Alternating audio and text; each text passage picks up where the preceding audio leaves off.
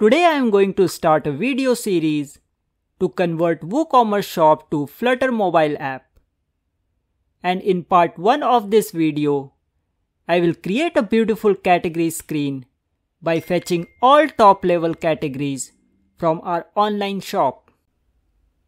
Source code of this application will be available at a subscription of $1 or rupees 83 only on calsob.in of which link you can find in description of this video. By going for this subscription, you will help us to continue our hard work of making these types of super useful tutorial series. Now let's go through the code. So this is the basic structure of our project. The project is divided into multiple parts. We have models, we have screen, we have services, we have config and we have main. So let's go through it one by one. So this is our model.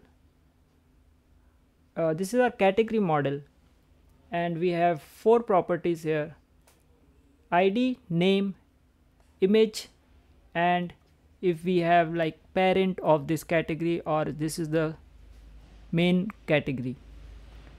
All these are initialized and this is the uh, function which is used to parse the data the json data.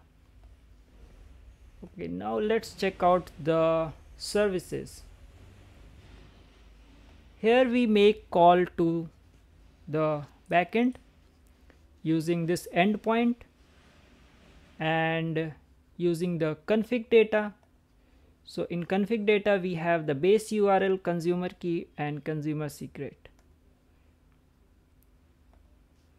So using the config details we create a endpoint and using this endpoint we make http call.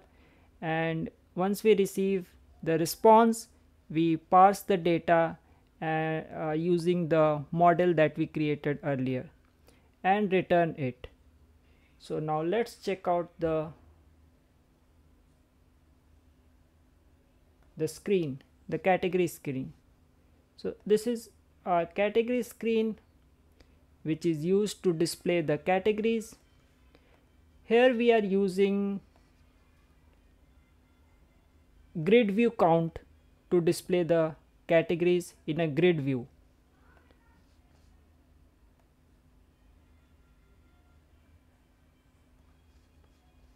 Here we are making the HTTP call and here we are using the future build to get the response and using this grid view count we are displaying the categories.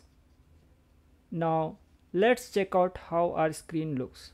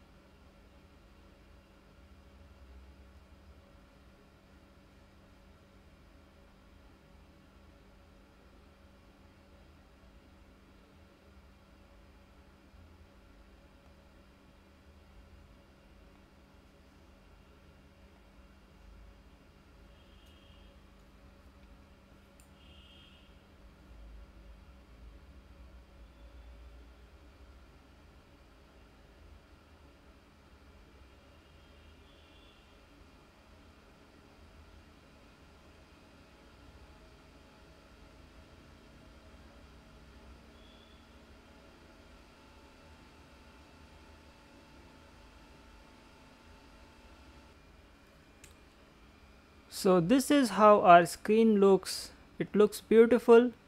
Here we have listed the images of the category and we have also uh, named the categories just below the image of the category. In the next video tutorial, we will make these categories clickable and when someone clicks on this category, he will get to see the subcategories as well as the product in that category. If there is any product the products will be listed and if there are any subcategories that will also be listed. And we are going to do this in our part 2 of this video series. Thank you so much for watching this video. If you liked the video please give it a thumbs up. And just remember you can always support us by getting the subscription and getting the source code which is on calsob.in